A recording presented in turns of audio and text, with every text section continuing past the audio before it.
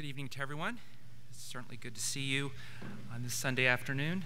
We are doing things a little different tonight, and I'm also a little curious how this is going to work out. It's a double feature, two sermons, and um, I'm kind of curious to see how close our lessons are going to be in terms of the subject, because it happens to be the scripture reading for John's lesson is actually going to be brought up here in my sermon. So I'm kind of encouraged that this may very well work out. So, but anyway, it's good to have everyone here, and if you are visiting, we certainly want to reiterate uh, how honored we are to have you here. So, so this will be very abbreviated.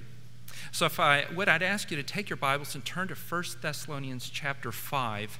I want to read the context of the passage. We're going to be looking at verse 17 and make just very four very quick points to it. But while you're turning over there, let me just introduce uh, the subject here and what I find so intriguing by this. So, the children of Israel had were caught between Pharaoh's army and the Red Sea in the book of Exodus. And the children found themselves in a situation that they could not control. They were filled with fear of certain death. They began to complain and doubt rather than pray. It is here Moses, who was God's mouthpiece to the children of Israel, spoke words that we too must speak to ourselves when surrounded on all sides by life's difficulties. That passage is found in Exodus chapter 14, verse 13 and 14. And let me read it here. And it says here And Moses said to the people, Do not be afraid. Stand still and see the salvation of the Lord, which he will accomplish for you today. For the Egyptians who you see today, you shall see again no more forever. The Lord will fight for you, and you shall hold your peace. So these words demonstrated courage that comes from faith and the reassuring words that the Lord would save them from the Egyptian army. And in verse 14, he states the Lord would fight for them, which is a common theme there in the Old Testament. And all they had to do is to be silent, to watch quietly, and to see him in the battle. And so when we start looking here at verse 17 on this pray without ceasing, it really comes down to the fact of, for us, it's a demonstration of faith of God. So let me go ahead and read uh, the passage for you real quickly. And I'm going to start in verse 12 and go through verse 19, again, of 1 Thessalonians chapter 5. And so Paul writes here, And we urge you, brethren, to recognize these who labor among you and are over you in the Lord and admonish you, and to esteem them very highly and love for their work's sake. Be at peace among yourselves. Now we exhort you, brethren, warn those who are unruly comfort the faint hearted, uphold the weak, be patient with all. See that no one renders evil for evil to anyone, but always pursue what is good both for yourselves and for all. Rejoice always, pray without ceasing, which is going to be our subject here, and in everything give thanks, for this is the will of God in Christ Jesus for you. Do not quench the spirit. So, as he's closing the book, there's some requests for the church at Thessalonica. And among those things is pray without ceasing. And a, for a casual reader of it, you may think, well, is, it a, is life a constant prayer? And of course, that's not the case, what he's talking about here. And that's part of the reason that I wanted to bring up at least the context of the passage. But if you look there in terms of pray without ceasing, he really speaks here about of a communion with God. The term here connotes one of devotion, an acknowledgement of his constant presence and our dependence for Him. I'd heard a preacher one time that had brought up uh, this passage, and he says, Think of it like this that when you come up out of those waters of baptism, you're handed a phone, and it's already been dialed, and it's connecting with God. And keep that with you for your life, and as you have problems, as you have issues that come up, pick that phone up and make your concerns, make your requests to God. So, real, so real briefly, I just want to make four points here about pray without ceasing. And as I said, the context here really comes down to an issue of faith. So, what can we say about this passage? Pray without ceasing. Well, point number one when we pray without ceasing, we look, for, we look to God for clarity, not ourselves and not others. We're looking for clarity from God.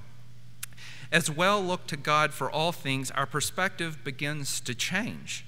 The question becomes not how I'm going to solve my problems, but rather how is God going to display His might in my circumstances. Our first inclination is not toward friends, toward family, toward some self help book or other cultural advices, but our reliance toward God.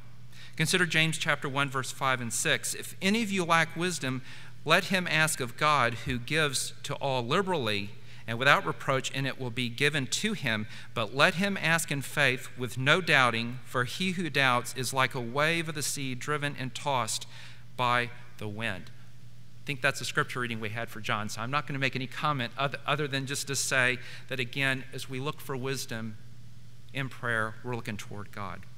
Also, in Matthew chapter 7, verse 7 and 8, here, he says, Jesus, ask and it will be given to you. Seek and you will find. Knock and it will be open to you. For everyone who asks receives, and he who seeks finds, and to him who knocks it will be opened. The action verbs there of ask and of seek and of knock. It's one of a continual nature. It's not something that's just a one time thing and then you go on with your life. It's a lifelong process of asking and of seeking and of knocking. God does not resent our prayer request, nor does he ignore them. He gives us what is needed.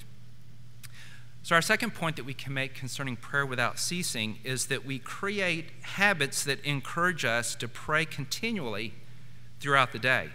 As believers in Christ, we have been invited to engage in a never ending dialogue with God. In all instances, good or bad, we pray. This requires a disciplined effort and building times in our day we should set aside to pray. Consider Romans chapter 8, verse 26. Likewise, the Spirit also helps in our weaknesses, for we do not know what we should pray for as we ought, but the Spirit Himself makes intercession for us with groanings which cannot be uttered. So, Paul had learned to rely on God's strength instead of his own. The Holy Spirit intercedes on our behalf, the groanings um, with us. He knows our hearts and what we truly need. So it's not a matter of we're informing God of something, but it's a matter that we're demonstrating we're putting our faith in God, that He is the one that's going to get us through these situations. He's the one that's going to be able to fulfill what needs and what wants that I'm going to have in this life. Also consider the psalmist in Psalms 139, verse 2 You know my sitting down and my rising up, you understand my thoughts afar off. So neither our actions or our thoughts or any part of our life can be hid from God, though He seems far away. But again, it goes back to the point that it's a matter of faith. When we put our faith in God and when we pray to Him, again, it's a demonstration of our, of our um, faith in Him. So, our third point here. So, we have confidence that He is always with us and listens to our unceasing prayers. We can talk to God anytime and anywhere because He is omnipresent. So, Matthew chapter 28, verse 20. It says here, teaching them to observe all things that I have commanded you, and lo, I am with you always, even to the end of the age. So, the Christian age will end when Christ returns and eternal life begins, but until that moment, Jesus will be with his disciples who are doing his work. Also in Galatians chapter 2 verse 20, I have been crucified with Christ. And again that term there it's one of a continual crucifixion. It is no longer I who live but Christ who lives in me. So Paul no longer trusted in himself but in the righteousness of Christ. And the life which I now live in the flesh, I live by faith in the Son of God who loved me and gave himself for me. So, our fourth point here, and our final point, we give up the belief that we control our lives and pray for His will to be done. That's what the prayer, uh, that's what the prayer without ceasing means. Life is a good reminder we are not in control. God wants us to recognize our limitations and come humbly to Him to satisfy our needs. When we do this, we honor God's power and His glory by letting Him reign over our lives and accomplishing His purposes for us. And so, two last verses here. So, in Proverbs chapter 3, verse 5 and 6, trust in the Lord. And that really is the fundamental wisdom of Proverbs. We're to put our trust in the Lord with all your heart. It's one of total surrender. And lean not in your own understanding. In all your ways acknowledge him, and he shall direct you or direct your paths. So it does not mean a life of no difficulties, but life in the Lord has a clear direction and purpose. And that's why it's so important that we do, when we do have whatever challenges and whatever difficulties we have, we should have no hesitation to go to God in prayer for that guidance. And finally, Philippians chapter 4, verse 6 Be anxious for nothing, but in everything by prayer and supplication with thanksgiving, let your requests be made known to God. So, anxiety is an attempt really to carry our own burdens in this present life. But prayer, and the prayer he speaks about here, and the prayer in the context of the passage of 1 Thessalonians chapter 5, prayer is yielding it and leaving it to God.